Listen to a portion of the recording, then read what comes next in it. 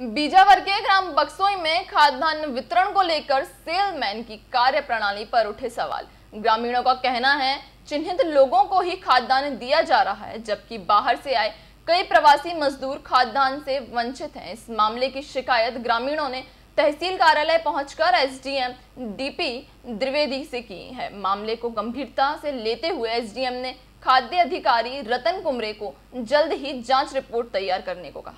था।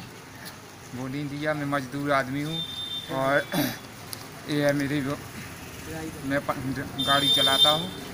वहाँ से तीस मार्च से मैं बैठा हूँ। मजदूर आदमी है, कहीं पे मजदूरी नहीं मिल रही, मैं चालक हूँ। और मजदूरी के लिए कहीं मिल नहीं रहा।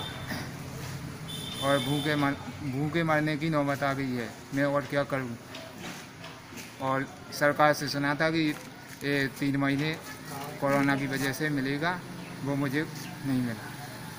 ये है कि हम लोगों को तीन महीने से जो लॉकडाउन लगा था तो उसका राशन नहीं दिया गया है। और जैसे जहाँ पे बक्सोई गाँव में बट रहा है सेल्समैन बांट रहे हैं तो उनसे कहा तो वो कहते हैं कि तुम्हारी आईडी नहीं खुल रही है मशीन में। आईडी खुलेगी तो मिलेगी। अब सरकार ने तो कहा था, जिसके पास परमट है, उसको भी मिलेगा और जिसको पास नहीं है, उसको भी मिलेगा। तो तीन महीने का जो लॉकडाउन का राशन था, वो हमें नहीं दिया गया है। हम मजदूर आदमी हैं। खाने के लिए है नहीं, अब लॉकडाउन में कुछ काम भी नहीं किया।